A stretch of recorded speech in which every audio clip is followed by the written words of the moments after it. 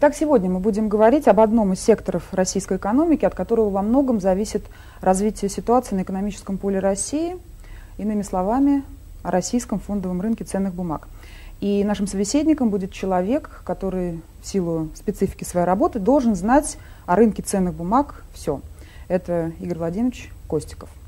Не секрет, что в странах, которые мы привыкли называть цивилизованными, от развития фондового рынка во многом зависит и нормальная инвестиционная составляющая страны, и, как следствие, благополучность, финансовая благополучность граждан.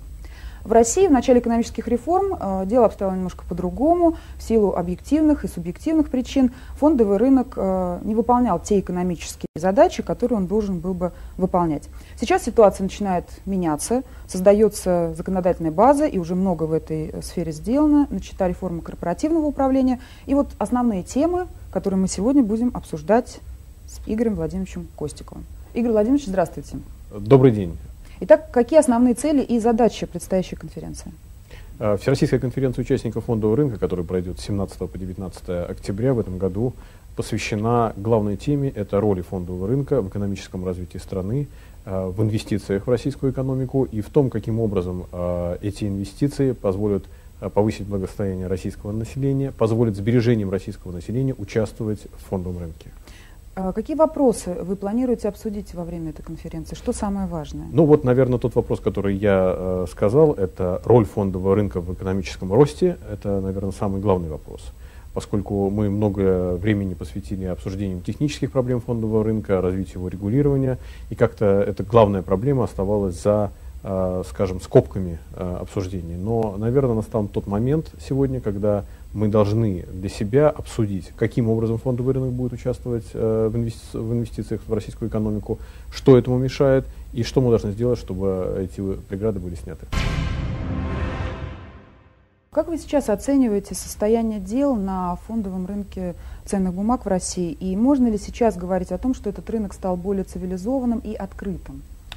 Да, конечно. Э, безусловно, если мы э, вернемся на 3, 4, 5, 7 лет назад, а у нас есть даже точная дата, когда у нас появился в стране фондовый когда? рынок, 19 июня 1990 года, когда еще советское правительство приняло решение о выпуске э, акций, о создании акционерных обществ и обществ ограниченной ответственности. Эта дата известна то э, первое время у нас фондовый рынок практически не развивался. С приходом приватизации задача фондового рынка это было обслуживание приватизации. Mm-hmm. И только после печальных, в общем, для нашей страны событий 97-98 года, а, мы обратились к тому, что нужно создавать современную инфраструктуру регулирования фондового рынка, которая бы обеспечила переход сбережений населения а, в экономический рост. И вот этим мы сегодняшний день занимаемся. Одна из главных проблем – это прозрачность и понятность фондового рынка для всех его участников – здесь сделано тоже многое, но много еще предстоит обсудить, многое предстоит сделать. Угу. Вот в последние годы была значительно обновлена законодательная база, которая регулирует отношения на фондовом рынке. Вы довольны тем, как э, сейчас обстоят дела в, этом, а, в этой сфере, или вы считаете, что еще нужны какие-то законодательные акты, законы нужны для того, чтобы сделать работу фондового рынка более ну, правильной, открытой и цивилизованной? А, конечно, очень важно было то, что за последние годы была сделана, проведена корпоративная реформа. Это касается изменений в закон об акционерных обществах, это введение кодекса корпоративного поведения. Это очень сложное название, но на самом деле мы говорим о том, что каждый человек, который вкладывает в компанию, должен знать, чем занимается эта компания, он должен mm-hmm. знать, какие прибыли получает эта компания и какие дивиденды э, эта компания будет инвесторам э, выплачивать. Кроме всего прочего, если ему не нравится что-то в деятельности компании, он должен иметь право высказать это менеджменту на годовом собрании акционеров.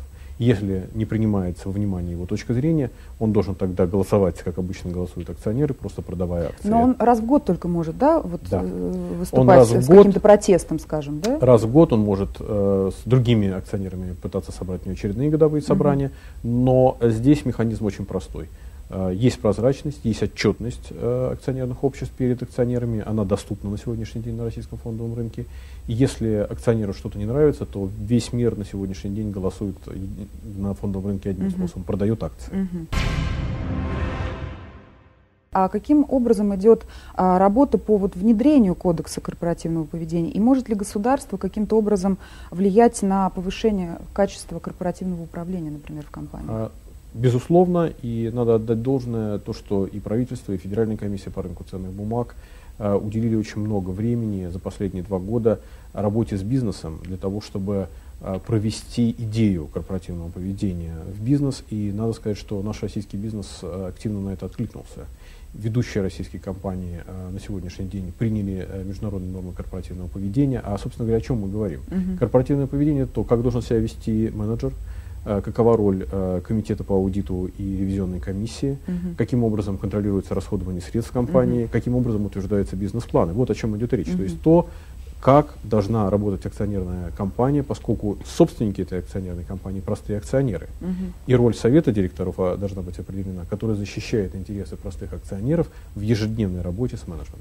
Вот готовы ли российские компании к тому, чтобы принять именно международные стандарты? Ведь у них все прозрачно и открыто, а в России, ну, я не говорю обо всех, но, наверное, есть компании, которые с удовольствием бы остались в тени Тут есть определенные особенности. В России э, есть история бухгалтерского учета, и э, российские компании работают в системе российского бухгалтерского учета, который не соответствует международным стандартам.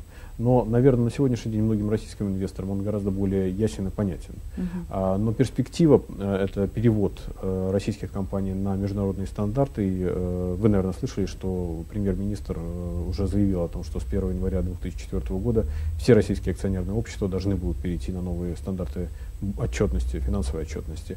Есть тут еще одна э, особенность.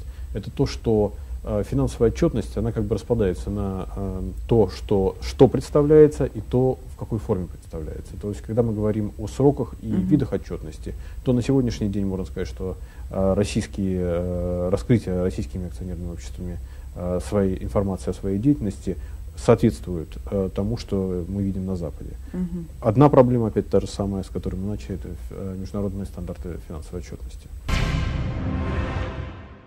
В последнее время э, финансовый рынок США потрясают такие скандалы, и многие эксперты э, склоняются к тому, что все-таки проблемы, которые возникают на фондовом рынке США, э, в основном, первое, из-за не, вот как бы несоблюдения норм корпоративного управления и некачественных аудиторских проверок вот э, так ли это, э, по вашему мнению, и э, что делает ваша комиссия для того, чтобы в России подобных а, проблем не было?